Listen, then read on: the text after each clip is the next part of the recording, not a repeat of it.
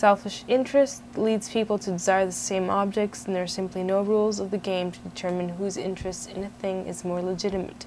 It is in this conflict in the state of nature that people use reason to lead them out of war and into society.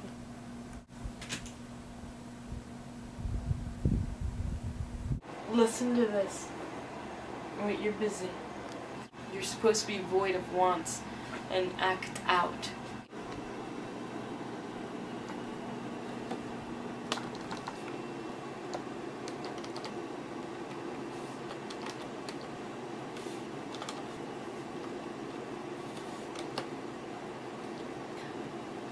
Oh, I guess not.